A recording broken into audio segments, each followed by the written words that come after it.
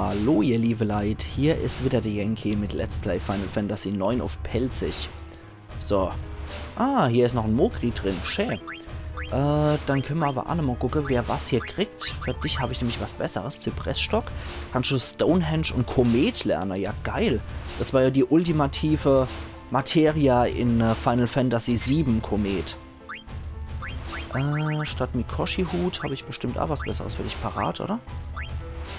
Ah, Schattenhut könntest. Vollmond. Das ist auch nicht verkehrt. Zauberarmreif. Hm, leider nicht. Zauberumhang. Habe ich doch was Besseres für dich? Ah, der Gaia-Kittel für Esprit noch. Na, da ist das deiner. Sehr schön. Okay, Vollmond lernt aber auch du durch. Schwarzgurt, du lernt der Gravitas du durch. Okay, dann äh, nochmal für Aiko ist eigentlich uninteressant. Wer interessant ist, ist dann wiederum äh, Garnet. Beziehungsweise Lilly. Wünschelrute. Haben wir derzeit nichts Besseres. Okay. Lamias Tiara. Äh, Insomnia hat sie doch schon gelernt. Genau. Du kannst ja nichts Besseres haben. Zauberarmreif. Kannst du auch nichts Besseres haben. Allzweckweste lernst du noch. Opal. Emerald haben wir ja schon gekriegt. Ah, Schneedrache kann man dort dafür. Das ist dann für Freya wahrscheinlich. Hast kann man da auch lernen. Wäre dann wohl was für äh, Aiko. So. Okay. Gut. Ach, da war dann das Spielchen. Okay, hier war dann das Vieh drin, was jetzt merkwürdigerweise verschwunden ist. Da war die Vogue und äh, da ist die Sanduhr. Okay. Gut. Mojo. Oh, schade. Auch mehr Briefe. Mist. Schade, Kopo. Oh, Entschuldigung, Mojo. Okay, äh, das haben wir ja schon im Gepäck. Das haben wir auch schon im Gepäck. Zauberstab. Haben wir Kenner drin. Wir nehmen einfach mal einer mit. Elfenflöte. Ja, komm. Brauchen wir eigentlich jetzt nicht. Wir gucken mal noch wichtigere Sachen. Silbergabel habe ich auch, Kenny. Chimärenreif. Haben wir noch eine im Inventar? Egoistenreif. Hätten wir noch welche? Holen wir uns mal zwei davor. Edelfäustling haben wir einer im Inventar. Chakraband. Holen wir uns mal zwei davor. Schattenhut haben wir A gelegt. Bastenmütze hätten wir auch noch. Äh, holen wir uns mal zwei. Schattenhut holen wir uns noch einer. Spangerhelm haben wir schon einer im Inventar. Brigandine haben wir auch eine. Jodo-Kittel haben wir schon einer. Goldrüstung ist auch schon in die A gelegt. Und dann werden nur noch andere normale Gegenstände. Okay. Ups, das wollte ich gar nicht. Ich wollte erst einmal äh, nochmal gucken, wer was anlegen kann. So, äh, wie sieht es denn mit dem Zauberstab aus? Genau, da kann man nämlich Tobsucht und Wicht dafür lernen. Lindern. Hat sie Lindern schon irgendwo? Nee. Okay, Zauberstab bringt ein bisschen mehr. Dann soll sie erstmal hier Lindern lernen. Äh, zusätzlich kannst du noch anderes Ding tragen. Schattenhut für Vollmond. Bastenmütze theoretisch 8. Das ist ziemlich gutes Ding. Aber... Hm, lass mal erstmal. Du kannst auch was Besseres tragen. Der Egoistenreif. Ja komm, das Ding ist einfach besser.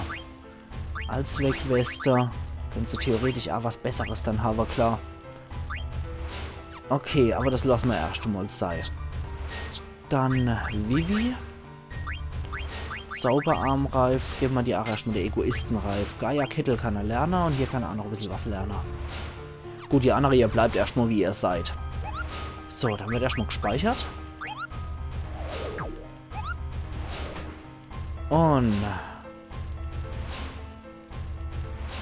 dann äh, schauen wir mal dass wir hier aus dem Wüstenpalais hier irgendwie rauskommen. Sodala. Und Wüstenpalais Verhörraum heißt es hier. Ah, okay. Im Endeffekt nichts anderes als Kuchas Folterkammer. Direkt neben dem Kerker bietet sich ja. Okay, die Dinger können wir nicht aufmachen. Na gut. Dann zur Vorrichtung, wo man alle A machen muss. Und da können wir rausgehen. Ich glaube, allzu viel Kämpfe kommen hier nicht. Wüstenpalais. Sehr geil, wie das gemacht ist. Also mir persönlich gefällt das Design vom Wüstenpalais unglaublich gut. Okay, da können wir was A machen, genau. Und jetzt glitzert hier was. Und was hat Kutscher hier für Hausargstelter? Oh, nett. Oh, das sind die Viecher, die können versteinern. Äh, Qual, genau, so hießen die. Äh, tja, hm. Ruf mal nochmal Fenrir. Äh, Vivi, du kannst ein bisschen Feuer drauf knaller. Und äh, dann kann äh, Quina versuchen, das Vieh zu fressen. Und äh, Lili greift nur. So.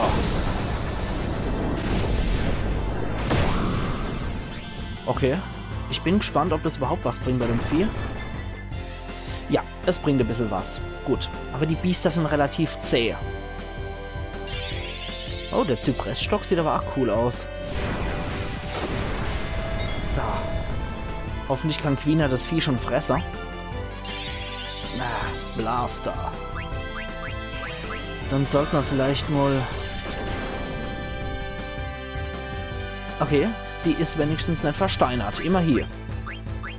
So. Oh doch, sie ist versteinert. Na klasse. Äh, geht. Dann sollte man Lili schnellstens wieder... Oh, schwächer wäre auch...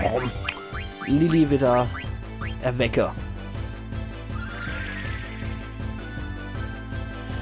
Ich glaube, Quina ist derzeit unser einzigster richtiger Kämpfer. So, deswegen muss Quina jetzt drauf hauen. Ups. Irgendwas hat hier nicht funktioniert.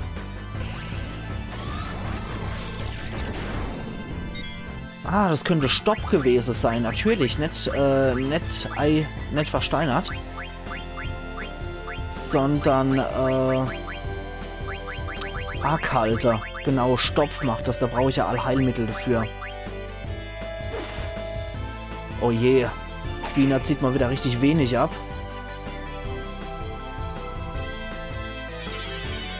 Äh, versucht es viel zu fressen. Okay, drauf. Oh Gott, sie heilt auch noch mit dem Ding. Ach du Scheiße. Und Quina bleibt nicht stehen, Gott sei Dank. Dann mach du mal Eisrad drauf. Und du ähm, heilst uns alle einfach mal. Muss schwächer werden. Okay, Heidewitzka, da ist so ein einfacher Kampf schon ziemlich heftig. Weil drei Magier im Ge eigentlich vier Magier im Gepäck ist ziemlich übel. Quina kann ja mal hin und wieder ziemlich schade ausdehlen, aber wenn man Pech hat, dehlt er halt auch keinen Schade aus. Und äh, das ist ziemlich übel. Du kannst so ein einzelner Gegner hier schon echt heftig werden, weil die ganze Magier hier, die teilen nicht wirklich Schade aus, nur über ihre Magie. Und dazu sind auch noch zwei Weißmagier dabei. Ach gut, Level 4 Fang doch gelernt. Sehr schön. Dann funktioniert es aber nur bei Gegnern, deren Level durch 4 teilbar ist. Okay, wenigstens hat Vivi noch ein Level kriegt. Okay.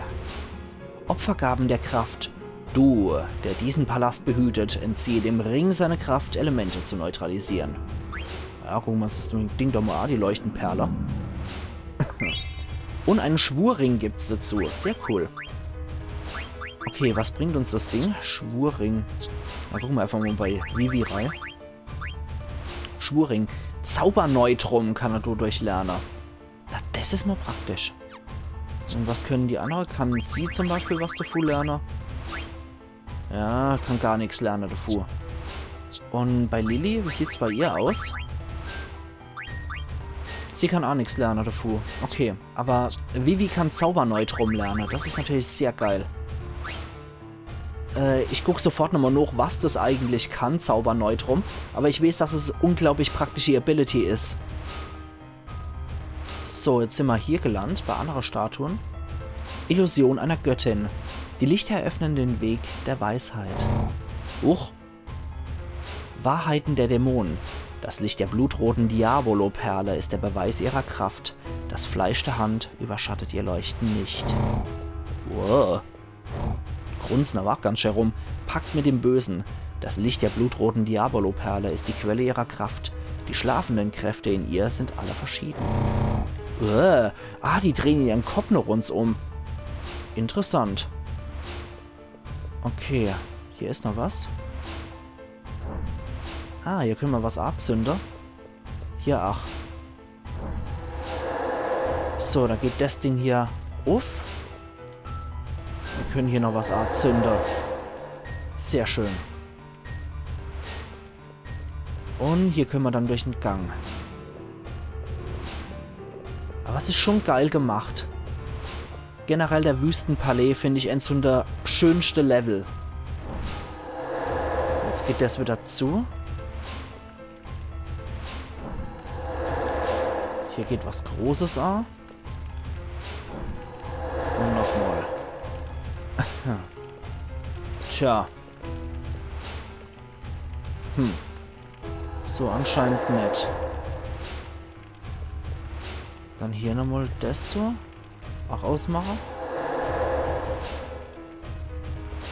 Und Desto. Das macht ja irgendwas Gewaltiges anscheinend. Das zuerst anzünden. Nee.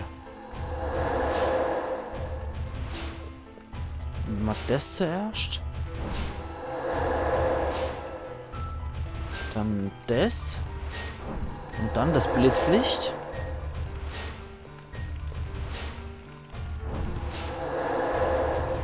Und es hat sich hier nichts geändert. Ah doch, natürlich.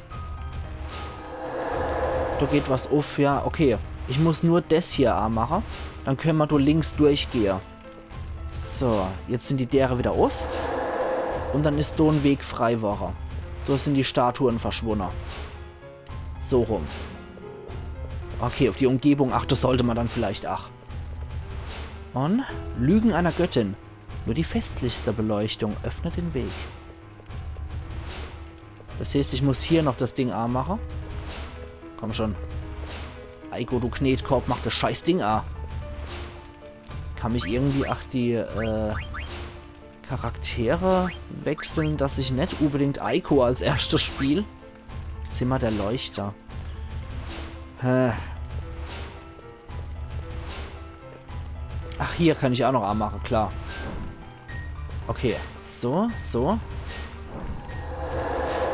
Jetzt hat sich hier wieder was geöffnet. Ah. Dann brauche ich jetzt die andere hier mehr. Die derer.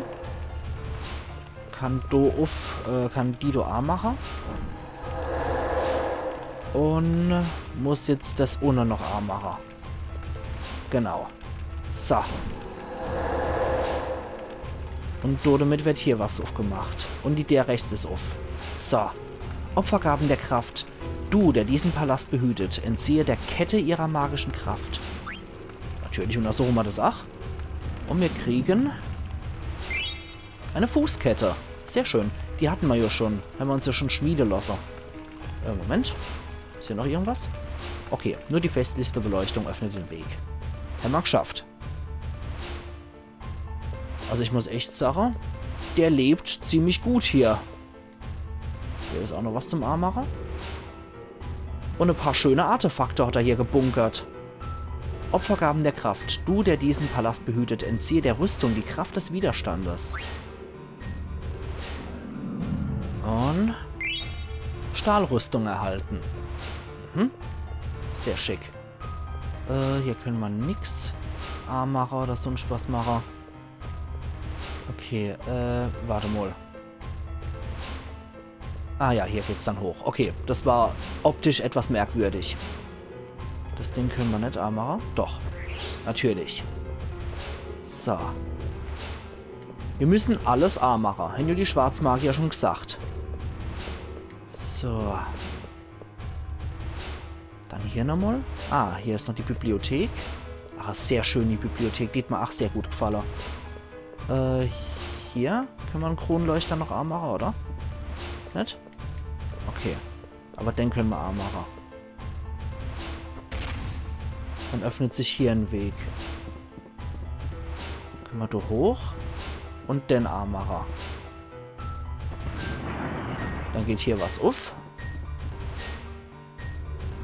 Und dann sind wir hier noch bei was. Opfergaben der Kraft. Du, der diesen Palast behütet, entziehe dem Armreif die Kraft des Ausweichens.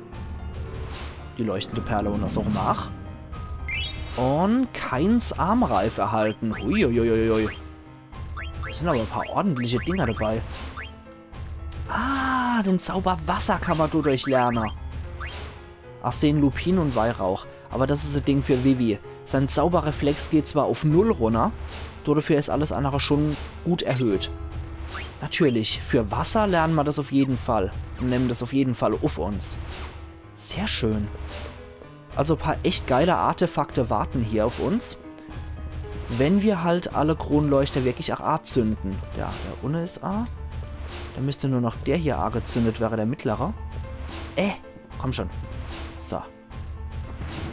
Jetzt geht hier noch was auf. Gerüchte der Weisen. Das Dekor des Lichts am heiligen Fenster zeigt den Weg der Weisen. Okay, warte mal. Halte mal Gaul A. Erstmal den Kronleuchter nach Art Zünder. Dann geht hier nämlich auch noch was auf. Und das ist wieder irgendwas. Ja, genau. Da müssen wir nämlich Art Zünder. Richtig. Jetzt muss hier jede Belüftung hoch. Belüftung außerhalb. Beleuchtung. Ah, da ist noch so ein kleiner Wichtelmann. Der Mockpock. In der Chatzeit kriege ich überhaupt keine Briefe. Okay. Dann können wir hier auch noch speichern.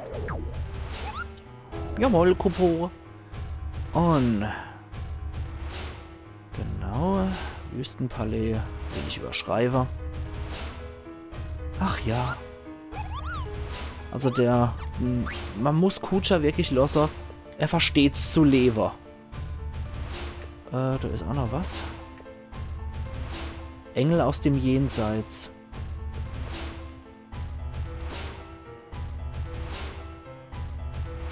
Okay.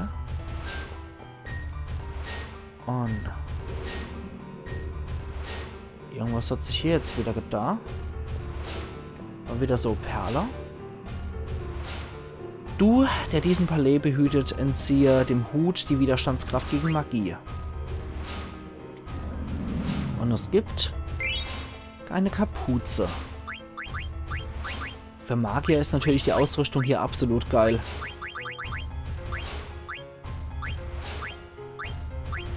Kapuze. Tod kann Adolfo lernen. Sehr geil.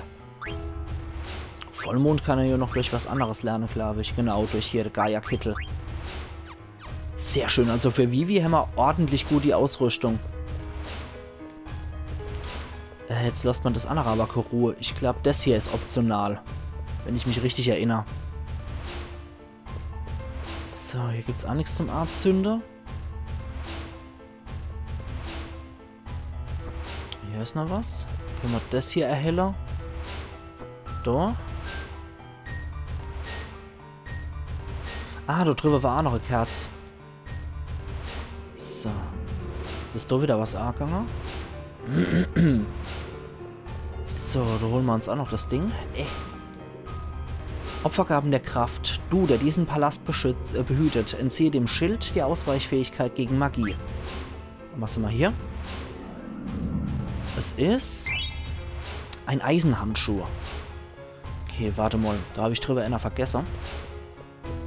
Äh, renn schon. Hier, genau. Oder? Äh, warte mal. Äh, es war was so, dass die sich gegenseitig bekämpfen müssen. genau. Der muss denn hier bekämpfen. Ich habe schon gedacht, du wär was. Und der andere muss noch äh, rechts gucken. Der guckt noch links, den ich jetzt gemacht habe, und der andere muss noch rechts gucken. Das war dann... Ah, nee. Ah, so rum. Haha. Okay. Dann halte mal den Gaul an, wenn ich es andersrum mache. Da war doch noch eine Treppe noch unten, ne? Wenn die sich äh, gegenseitig bekämpfen hier. So. Und? Nee. Okay. Dann halt nicht. Ah, warte mal, warte mal. Natürlich. Wir lassen es mal so und lassen den anderen in die Richtung gucken. Dann können sich du links am Rand noch ein Treppbilder, weil du ist ja kein Geländer. So, hier gibt es ja fast so viel Krusch, den man machen kann. Unglaublich. Äh, denn aus. Und stattdessen in die andere Richtung. So. Und. Will sich jetzt so links Trepp? Nee. Okay, gut. Dann halt nicht. Dann bildet sich doch wirklich nur A-Trepp. Okay. So. Und dort hier. Wieder durch zurück. Und dann... Und so rum war das, glaube ich, ne? Genau. So bildet sich da die Treppe. Und dann schauen wir mal, wo es da hingeht. Das wird nochmal letztlich die Amtshandlung für heute sein. So, da. Also, schwingt dann Bobbes da hoch. Ich bin mir nicht mehr sicher, was das jetzt. Das ist das Ding, was hier alles auslöst. Okay, gut. dann haben wir hier alles vorbereitet. Und ich mache hier noch eine Vorbereitung. Und zwar haben wir hier schon gemacht. Das heißt, das kann runter. Und wir können da nochmal hochgehen. So, dann ist vorbereitet für morgen. Gut, wir sehen uns dann nämlich morgen wieder zu Let's Play Final Fantasy 9 auf Pelzig. Also machen's gut und bis morgen dann wieder. Ayan Yankee.